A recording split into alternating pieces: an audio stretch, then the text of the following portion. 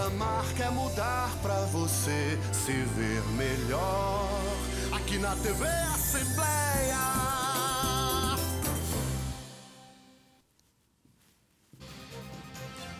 Boa noite. Festas de fim de ano podem representar um desafio emocional para pessoas que sofrem com depressão ou ansiedade. Tramita na Assembleia projeto que propõe às empresas concessionárias de serviços domésticos a disponibilizarem documentos acessíveis para cegos e analfabetos. Exposição de cada vez mais precoce das crianças nas redes sociais é um desafio para os pais e veja os perigos do açúcar em excesso. 85% dos brasileiros não dispensam um produto nem na hora do cafezinho. Essas e outras notícias agora no Jornal Assembleia.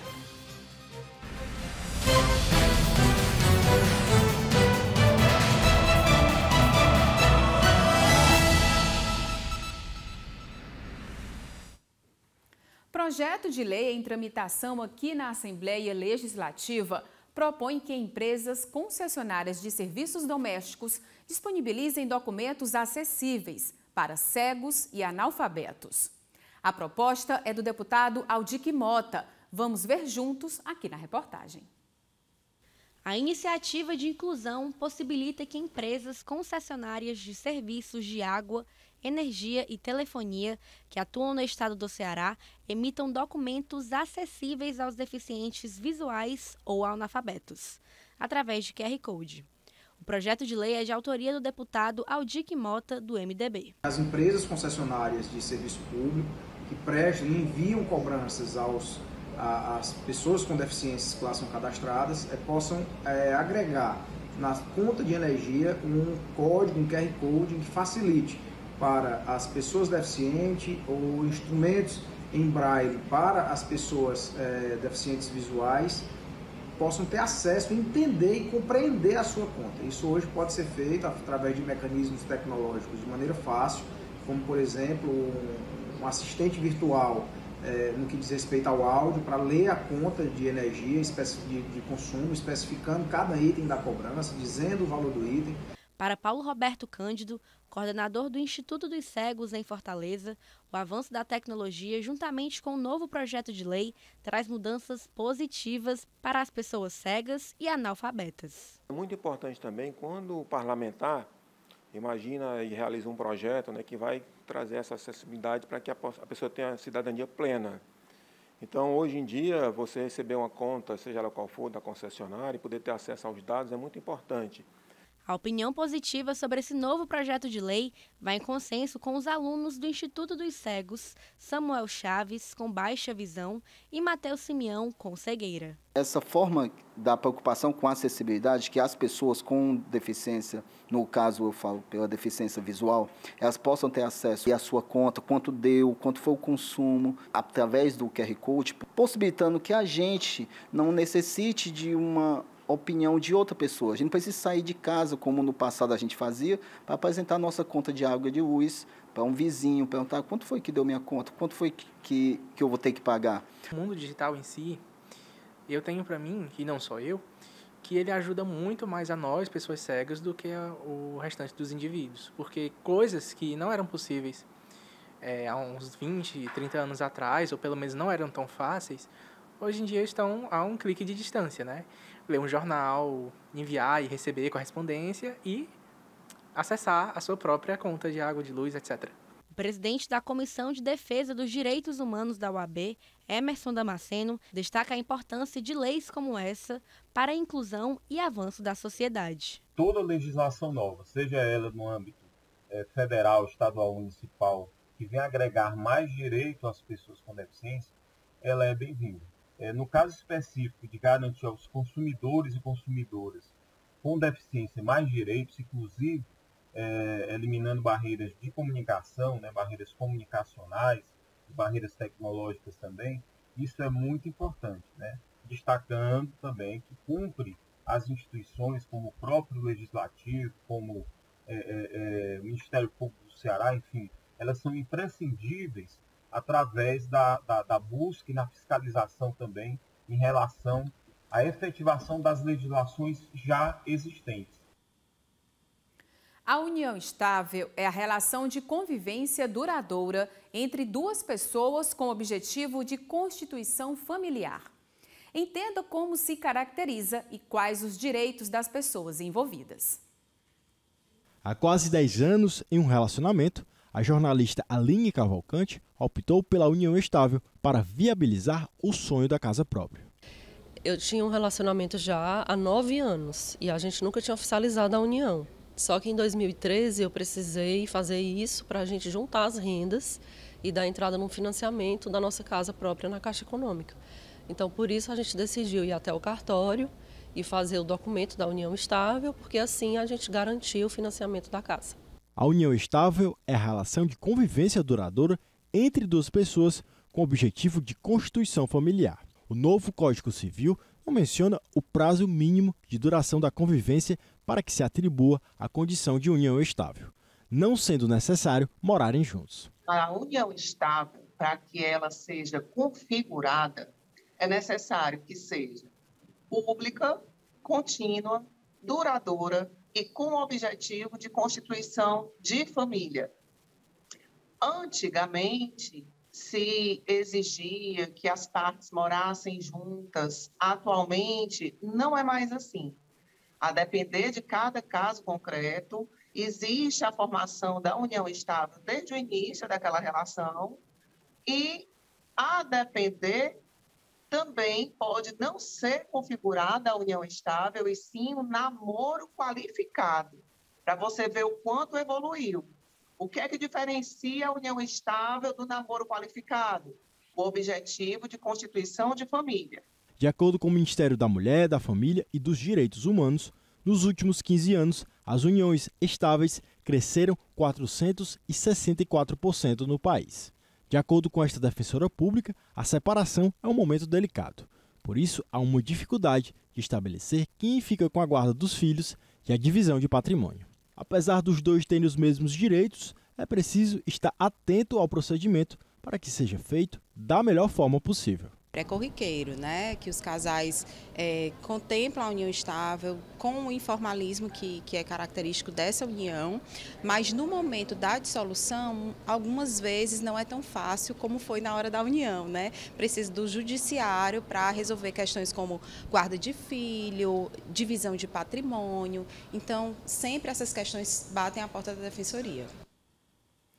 No fim do ano, são muitas celebrações: Natal, Réveillon confraternizações de amigos e familiares.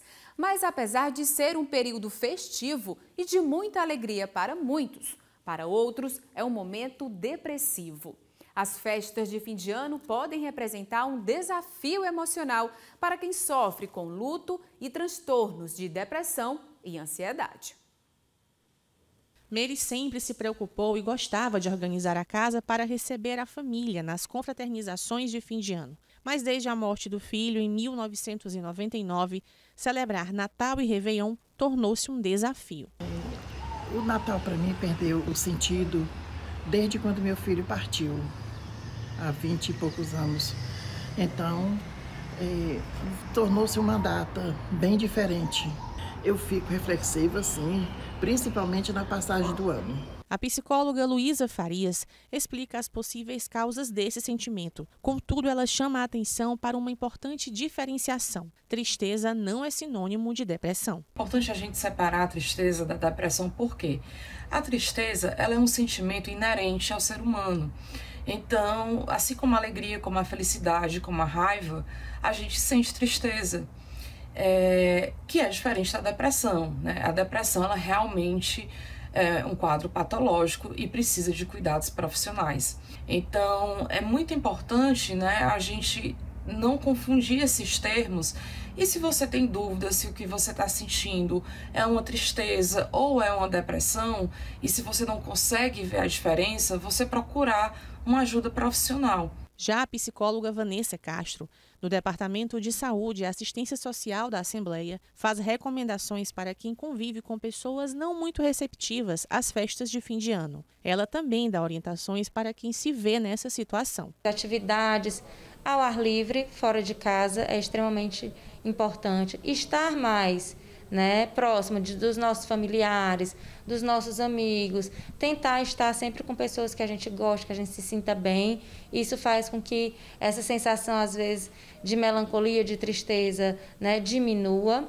E observar que caso esses sintomas não passem, né, é, eles se intensifiquem para além dessa época de final de ano e persistam, prejudicando a sua rotina, é, é necessário buscar um profissional que possa ajudar a orientar a passar por todos esses transtornos. Veja a seguir: exposição cada vez mais precoce das crianças nas redes sociais é um desafio para os pais. E veja os perigos do açúcar em excesso. 85% dos brasileiros não dispensam um produto nem na hora do cafezinho. O Jornal Assembleia volta já.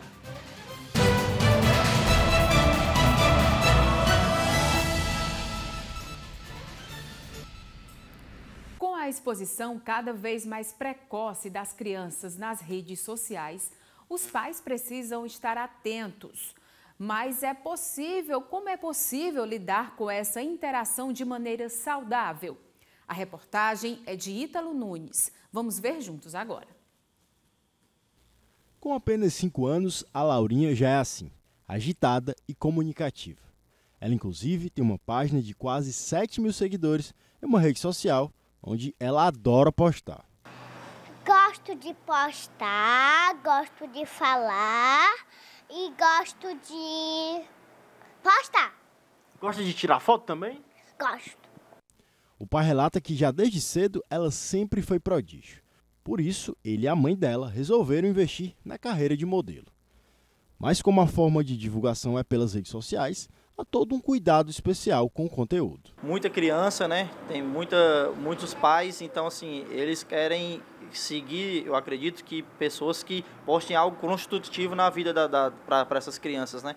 Tanto para as crianças como para os adultos. Então, é, a gente tem um cuidado muito grande para para estar tá mexendo nas redes sociais dela, para saber o que é que a gente pode ou não mostrar para o público, tanto para influenciar, como na parte também de, de privar ela né, de muitas coisas, para não expor ela tanto, que hoje em dia a gente sabemos que não, é, é muito sério a questão de rede social.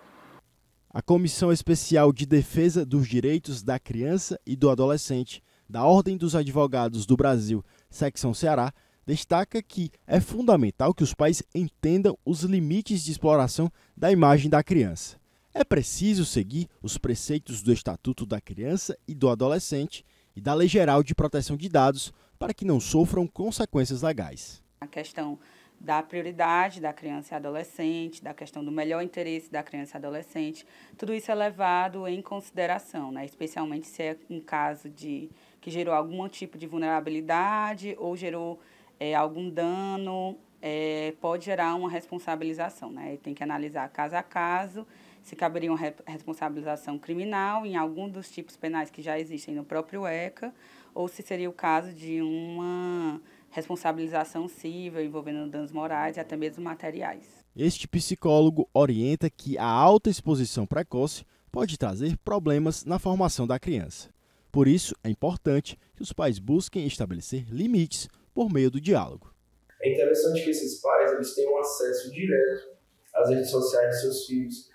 É interessante também que esses perfis das crianças eles não sejam públicos, eles sejam perfis privados, onde os pais vão ter mais controle, só vai aceitar quem eles realmente conhecerem ou quem realmente eles quiserem aceitar, né? tá ali sempre perto do filho, monitorando o que, que essas crianças estão fazendo na internet, impor regras, impor limites. Só aí é, esses pais eles vão conseguir gerar algum tipo de privacidade, algum tipo de segurança para esses filhos. Seja no cafezinho ou na receita do bolo, o açúcar faz parte da rotina de 85% dos brasileiros, segundo a pesquisa de orçamentos familiares. O problema é quando o produto é usado em excesso.